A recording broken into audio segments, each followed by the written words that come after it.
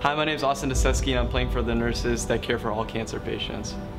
My name is Angel Alamo. I'm a senior and I am playing for Sararos.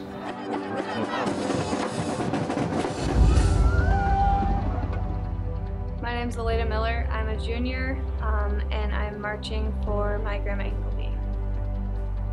My name is Justin Brockett and I play in the Romeo Marching Band and I'm playing in honor of my great uncle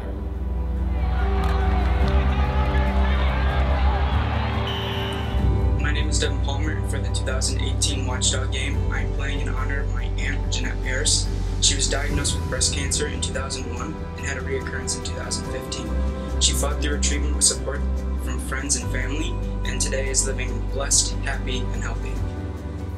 I'm playing in honor of Phil Connor tonight. Uh, Phil's the captain of my trivia team. We've been uh, two times champions in our in our league. Um, one of the smartest guys I know, and he's battling cancer. He's been battling for a little while. I'm proud to be playing for Phil.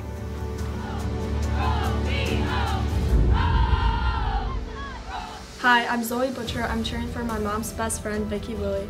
She was diagnosed with ovarian cancer, and, but sadly passed away. I'm excited to cheer for her tonight at the game.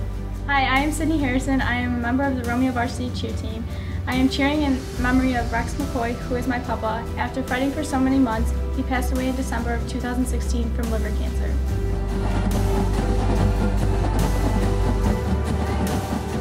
My name is Rana Zanke. I'm a junior at Romeo High School, and this year I will be dancing for my papa, who passed away from small cell lung cancer.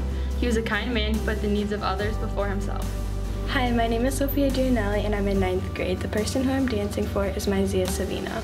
She unfortunately lost her battle of cancer in November of 2008. The Watchdog game to me is, I guess, is very important and I think that it's really good that our school is showing awareness for cancer